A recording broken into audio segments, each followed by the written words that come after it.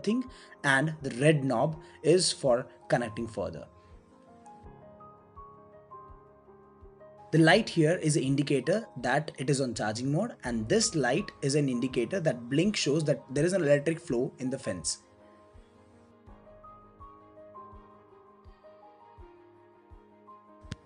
This is a field where I gonna explain you how the connectivity has been done.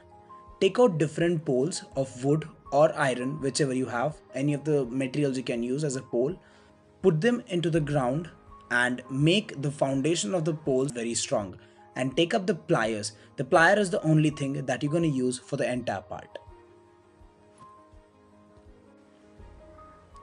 These are the insulators. The insulators is being winded up with GI wires. The GI wires should be separate from the internal hole which is in between. The hole should be kept gap in between. This is the outer part. So now you got to fix it up to the poles that have already installed. Tighten up the cables very tight and make sure there is no any contact with the external cable and the wire that is passing in between. That may cause the uh, loss to your product or may not work properly accordingly. Take out the wire to all the holes of the same line. Do not mess up the wires.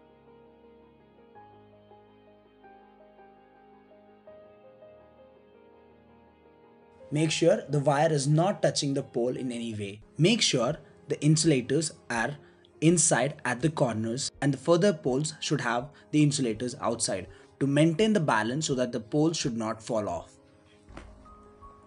This is how it looks. Now it's time to install the solar panel. You need to find out the pole, a metal pole which will keep it firm on the ground, screw it up with the screws make sure that will not move or not fall apart. Once you're installing panel, please do make sure the sun is towards the right and the panel is leaning 35 degrees towards the ground. This key is to switch on where the electronic flow should flow or it should be only kept on the charging mode.